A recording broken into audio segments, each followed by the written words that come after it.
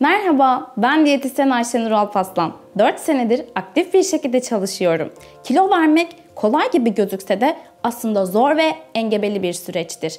Bu yolda sizi anlayabilecek, bu yolu keyifli ve eğlenceli bir hale getirebilecek bir diyetisyen arıyorsanız bu kişi benim. Bu mesleğe başlamadan önce 15 kilo kadar verdiğimi düşünürsek diyetteki psikolojinizi, tatlı krizlerinizi, geceleyin gelen yemek dürtülerinizi bizzat yaşamış ve kendimce çözümler bulmuş biriyim. Eğer benimle bu yola başlarsanız asla pişman olmayacak ve kendinizi yalnız hissetmeyeceksiniz. Bütün bilgilerimle yanınızdayım.